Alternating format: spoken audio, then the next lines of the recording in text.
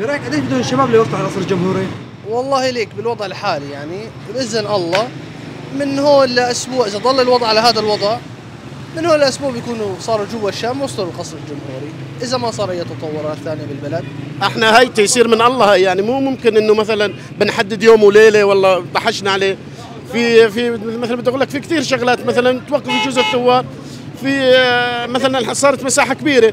ما نحسن نحدد إنه بدنا نظبط الوضع بحلب ولا نظبط الوضع مثلا مناطق سراقب ولا بريف حماة. والله إذا الله يسر عليهم لازم سبعة أيام. لازم أسبوع. إن شاء الله. إن شاء الله. إن شاء الله الله يعينهم. الله الله يعينهم ويقدرهم. والله العظيم اشرحوا صدورنا. كنت اليوم بتضيع الله وكيلك. حياة ثانية حتى الهوى غير. الله وكيلك.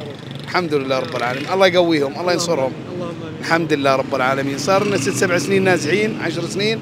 لكن الله إن شاء الله ما يضيع لنا تعب والله يرحم الشهداء. إن شاء الله 15 يوم.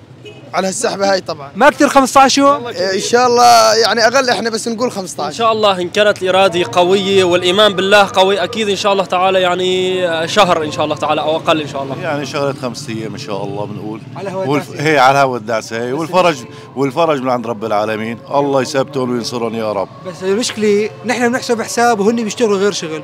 إن حلب بدها شهر قام خلوه صوب بنهارين فعلى الشام شو بتقول؟ أيوه بجوز ثلاث أيام. معلش بنعطيهم أخي ثلاث أيام فرصة؟ للجنود بركي بينشقوا اخيو وبيحرروها إن شاء الله الشباب.